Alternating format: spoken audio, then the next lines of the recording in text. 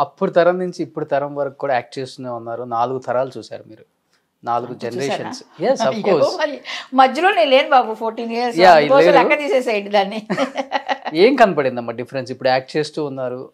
యాక్చువల్గా చెప్పాలంటే అప్పుడు గోల్డెన్ డేస్ ఒక ఆర్టిస్ట్కి వాల్యూ ఎక్కువ ఉంటుంది.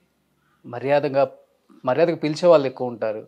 షార్ట్లో కూడా మర్యాద ఎక్కువ కనపడుతూ ఉంటుంది. షార్ట్ అయిపోయి ప్యాకప్ అయినప్పుడు కూడా మర్యాద పూర్వకమైన సినిమాలో ఇంకా ఉందనే అనుకుంటున్నాను నేను. ఇప్పుడు కూడా యాక్ట్ చేస్తున్నారు. ఏమన్నా డిఫరెన్సెస్ కనపడ్డాయా?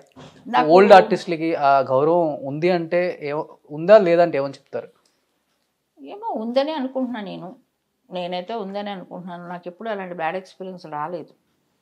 ఏమో నేను చేసిన మూవీస్ తక్కువ ఉండొచ్చు. ఇంకా అంతకు నాకంటే చాలామంది ఎక్కువ మంది చేస్తున్నారు కాబట్టి ఏమైనా జరుగున్నది ఏమైనా ఎక్స్పీరియన్స్ నాకైతే ఇంతవరకు రాలేదు. బట్ నేను టీవీ ఫీల్డ్లో మాత్రం కొంచెం చెప్తూ ఉంటాను వాళ్ళకి టీవీ ఇండస్ట్రీలో మాత్రం. మీకు తెలుసా అసిస్టెంట్ డైరెక్టర్స్ అంటే ఎలా ఉండేవాళ్ళో తెలుసా బాబు? వాళ్ళ గురువు గారు ఎలాంటి వాళ్ళు? వాళ్ళు చెప్పి చెప్ ఇలా ఉండాలి వీళ్ళ దగ్గర అని చెప్పి. మీకు చెప్పేవాళ్ళు లేదు ఇప్పుడు వచ్చేవాళ్ళకి షార్ట్ రెడీ అంటే? అక్కడెక్కడో నుంచొని "ఆ, రెడీ అని అంటాడు. ఏ ఇట్లా ఇదే ఒక పెద్ద ఆర్టిస్టు మన దీంట్లో అయితే కొట్టి పొర అనేవాళ్ళు. అలా పిలవకూడదు తప్పు అది. నీకు తెలియదు కాబట్టి నేర్పిస్తున్నాం అని చెప్తుంటాం. ఏదో ఒకటి రెండు అన్నీ చెప్పం. ఇది మీరు చెప్పిన పాయింట్ ప్రతి ఆర్టిస్ట్ చెప్పారు నాకు. అది నిజమే కదా. ఎరా ఇలా అంటావు కొత్త హీరోయిన్ దగ్గరికి వెళ్ళాను ఇరగేస్తుంది నిన్ను. కొత్త హీరోయిన్ కొంచెమంది పాత వాళ్ళు కూడా కొంచెం బిక్కిన తిట్టేస్తారు.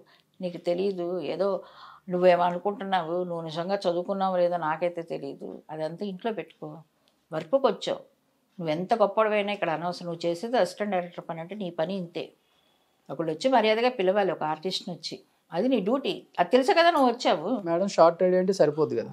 పిల్లలు ఉడుకు రక్తం. ఇళ్ళలో కొంచెం గారాభంగా పెరిగొస్తారు కదా కొంతమంది. అందరూ అలా నేను చెప్పను. ఎక్కడైనా మంచి చెడు ఉంటుంది కదా. పాపం వాళ్ళకి అది తెలియదు ఓకే. కొంతమంది ఇళ్ళలో కూడా నేర్పరు.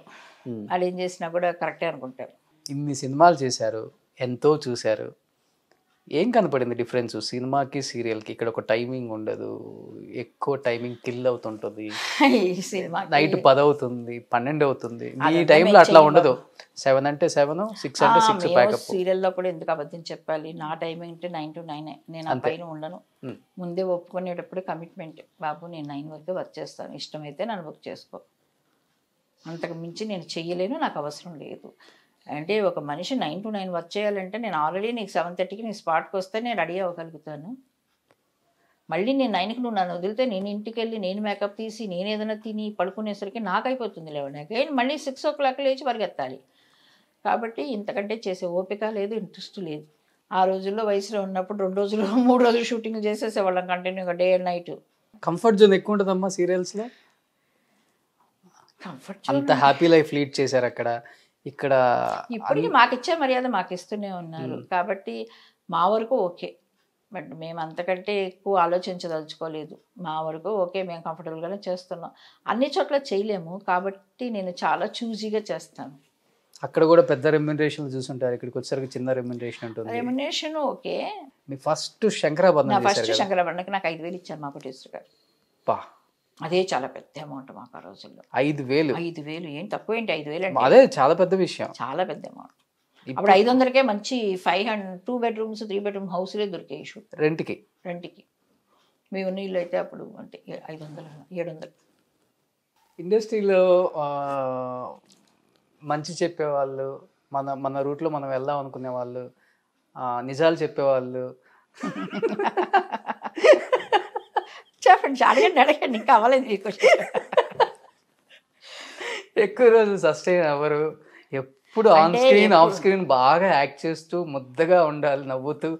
ఆ యాక్టింగ్ అనేది పడుకునేటప్పుడు ప్యాకప్ అనాలి అంటుంటారు నిజం? అంటే నిజమే. ముక్కుసూటి వాళ్ళకి ఎప్పుడు ఉంటుంది? నేను కొంచెం ముక్కుసూటిగా మాట్లాడతాను. కాకపోతే అది హర్ట్ చేయటం అనేది కాదు. నా మనస్తత్వం అది. ఓకే. ఇది కరెక్ట్ కాదు అంటే నా దృష్టిలో అది కరెక్ట్ కాదు అంటాము. అలా అని నాకు నచ్చలేదు అనుకోండి ఈ మధ్య చెప్పను నేను. ఎందుకంటే నచ్చకపోతే దూరంగా ఉంటే బెటర్. ఎందుకంటే ఎవరు తీసుకోరు. ఎప్పుడైనా నిజం చెప్తే నచ్చదు ఎవరికైనా. ఏమండి మీరు చాలా అందంగా ఉన్నారంటే అది అందం ఉన్నా లేకపోయినా ఆహా ఓహో అనుకుంటారు. అది జనరల్గా చెప్తా అదే వెంటనే భుజాలు తడుకున్నారు చూసారా? అది చెప్తాను ఇప్పుడు నాకైనా సరే మీరు ఏదైనా చెప్తే మాకు తెలుసు. ఏంటి మనుషులు ప్రతి వాళ్ళకి ఎవరికైనా లోపాలు ఉంటాయి తెలిసినా కూడా అనేసి ఊరుకుంటాము అది మా ఫ్యామిలీలోనే అంతే. మా. పిల్లల విషయాలైనా అంతే. రాజలక్ష్మి గారితో మనకి ఎందుకులే అనుకుంటారు. అంతే. ఏ రకంగా? ఆవిడ వేష ఇవ్వటం కూడా అనవసరం అనుకుంటారా? మంచి వాళ్ళు. ఎందుకు ఏదైనా ఉన్న ఫ్రాంక్గా మాట్లాడతారు ఎందుకులే మళ్ళీ అనవసరంగా? అది అనుకు అనుకుంటారు కదా టక్కున. ఇప్పుడు ముక్కుసూటిగా మాట్లాడే వాళ్ళతో ఎవడైనా వచ్చి ఏదైనా మాట్లాడాలన్నా కొంచెం ఇదిగా ఉంటుంది. అంటే ముక్కుసూటి కంటే అలానే వెళ్ళిపోయి వచ్చిన అందరి ముందు ఏం మాట్లాడం కదండి. ఇప్పుడు నాకు క్యారెక్టర్ ఇచ్చిన డైరెక్టర్ దగ్గరికి వెళ్ళి ముక్కుసూటికి వెళ్ళి మాట్లాడేస్తాను. ఏంటంటే ఈ సీన్స్ అది బాగాలేదంటామా ఏంటి? చెప్తున్నాను మాట అలా అని అలానే కాదు. నిజాన్ని ధైర్యంగా తీసుకోగలగాలి. ఎస్ సో గోల్డెన్ డేస్ గర్ల్స్లో ఇప్పటికి రాజలక్ష్మి గారికి మంచి ఫ్రెండ్స్ అంటే ఎవరమ్మా? మంచి అయినా చెడైనా ఒక ఫ్యామిలీ మెంబర్ లాగా ఉండేవాళ్ళు ఆ రోజుల్లో ఆర్టిస్టులు అంతా ఆర్టిస్టులు ఉన్నారు. కాకపోతే నేను కొంచెం ఎక్కువగా క్లోజ్గా ఉండేది మా శంకరాభరణం ప్రొడ్యూసర్ గారు వాళ్ళ అమ్మాయి డాటర్ ఆ రోజు నుంచి నాకు ఫ్రెండ్ ఈ రోజుకి స్టిల్ ఓకే. మా ఫ్రెండ్షిప్ అలా సాగుతూనే ఉంది. మంచి వచ్చినా చెడు వచ్చినా కొంతమంది ఉన్నారు ఆర్టిస్టులు వాళ్ళు. ఆర్టిస్టులు అయ్యి రిటైర్డ్ అయిన వాళ్ళు ఉన్నారు. అలాంటి వాళ్ళు ఒకళ్ళిద్దరు మంచి ఫ్రెండ్స్ ఉన్నారు. మీకు అదే పిక్చర్ కాబట్టి? అదే అదే. నా సినిమా షూటింగ్కు తను వచ్చేది శంకరాభరణ షూటింగ్కి అప్పటి నుంచి ఫ్రెండ్ స్టిల్ కంటిన్యూ దేవుడి దేవల్ల మా ఫ్రెండ్షిప్ అట్లాగే కంటిన్యూ అవుతూనే ఉంది. సో ఇండస్ట్రీలో ఇన్ని అచీవ్ అయ్యారు. ఇంకేంటమ్మా మీ లైఫ్ అంబిషన్ అంటే ఇంకేంటి? ఏం చేయాలనుకుంటున్నారు ఒక క్యారెక్టర్. ఆర్టిస్ట్గా లేదు మీరు అడిగిన దానికి నాకు చెప్పండి. ఏం అచీవ్ అయ్యా నేను? ఏం అచీవ్ కాదు అది చెప్పండి. ఏమో నాకైతే ఏమనిపించట్లేదు ఇంతవరకు నేను చాలా అచీవ్ అయ్యాను అది ఇది నేనేం అనుకోవట్లేదు ఏదో నా పని నా డ్యూటీ నేను నా ఆర్టిస్ట్ని నాకు ఇచ్చిన సినిమాలు నాకు ఇచ్చిన క్యారెక్టర్లు జాగ్రత్తగా చేసుకుంటూ మా ప్రొడ్యూసర్కి ఇబ్బంది లేకుండా మా డైరెక్టర్కి ఇబ్బంది లేకుండా నా పని ఏదో నేను చేసుకుంటూ పోతున్నాను. మరి అది అచీవ్మెంటే కదా? ఏమో నాకు తెలియదు అందుకోసం అడిగాను. ఏంటి అచీవ్మెంట్ అనేది? అంటే ఒక ప్రొడ్యూసర్కి నష్టం కలగకూడదు. ఎందుకంటే వాళ్ళు వాళ్ళు లేకపోతే మేము లేవు అని నమ్మే దానిలో నేను ఒకదాన్ని. ప్రొడ్యూసర్ అన్న లేకపోతే ఆర్టిస్టులు లేరు ఎవరూ లేవు. ఆయన ముందుకు వస్తేనే కదా సినిమా తీస్తేనే కదా మాకు వేషాలు ఇచ్చారు. గోల్ ఏమి లేదు. భగవంతుడి దయలో బాగున్నాను. ఓకే. పిల్లలు శుభ్రంగా చక్కగా సెటిల్ అయిపోవాలి. హ్యాపీగా ఉండాలి. అంతే. అంతకంటే పెద్ద ఆశలు కోరికలు అలాంటివి ఏమీ లేదు సో ఇప్పుడు కంప్లీట్గా హైదరాబాద్లో ఉంటున్నారమ్మా హైదరాబాద్లో ఉంటున్నాను. తెలుగులో ఇంకా మంచి సినిమాలు యాక్ట్ చేయాలి. నా కోరిక అదే. మీ ద్వారా కూడా నేను అదే అందరినీ రిక్వెస్ట్ చేస్తున్నాను. నేను ఇక్కడే ఉంటున్నాను.